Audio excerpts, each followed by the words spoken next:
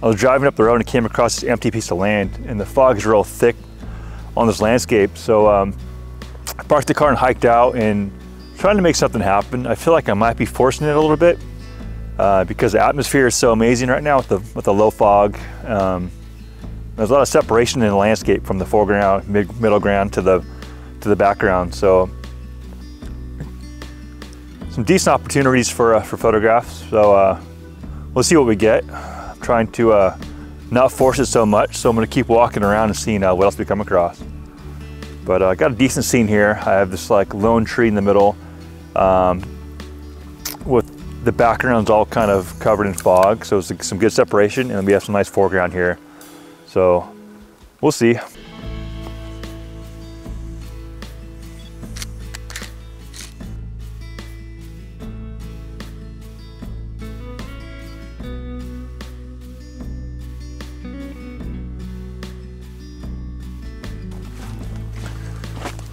I don't know if you can see, but right here we have these kind of trees that are up are arching kind of across from each other and kind of creating like a bit of like a half circle right here. So that's what I'm kind of focusing on, but ow, some thorny bushes.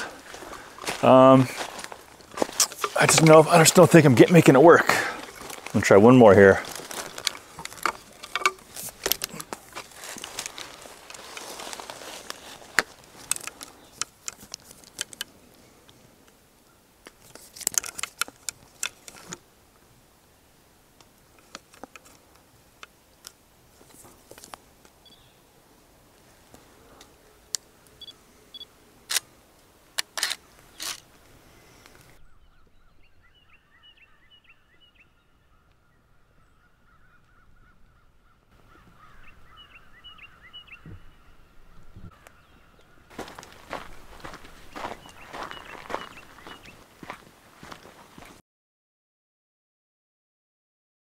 Well, the atmosphere is amazing today. We have a, a, low fog, but it's slowly starting to lift, which is kind of stressing me out because the lighting atmosphere is perfect for photographs, but I'm not finding anything right now.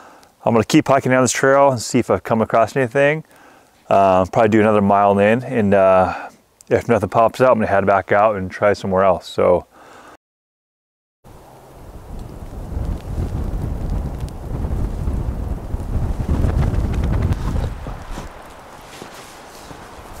Oh, my lens is fogging up. The fog is so thick in here.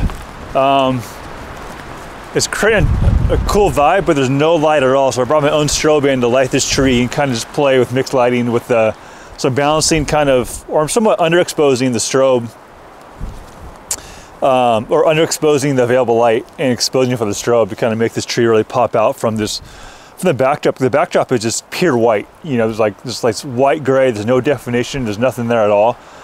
But the strobe hitting the tree, I'm able to expose for the light on the tree and underexpose the backdrop and kind of just create a different separation light-wise. Dang, it's getting windy.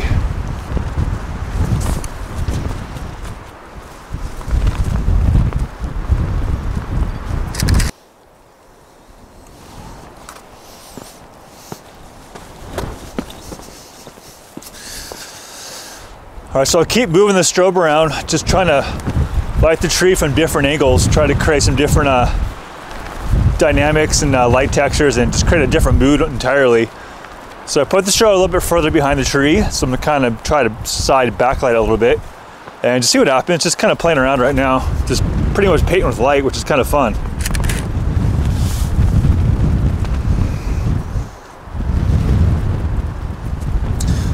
That's looking a lot better, but now I got the strobe just slightly in the in the frame. All right, so I'm gonna pull the strobe back a bit.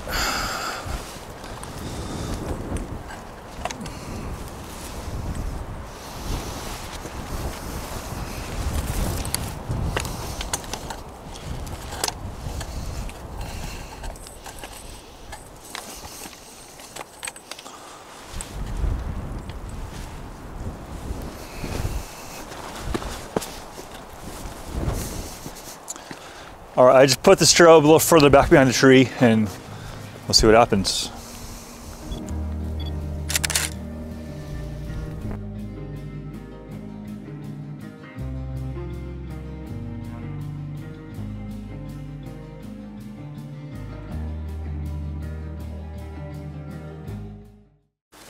I'm getting out of here. I have all my gear packed up and still damp with fog. Everything is pretty darn wet. Um, decent day. I've been shooting since about seven this morning, all the way until sundown. It's about I think 6:20 now. So uh, yeah, I'm glad it came out. Gonna have to do a deep uh, camera clean when I get back because both cameras are completely soaked. But uh, yeah, thanks for tuning in, and uh, we'll see you next time. Bye bye.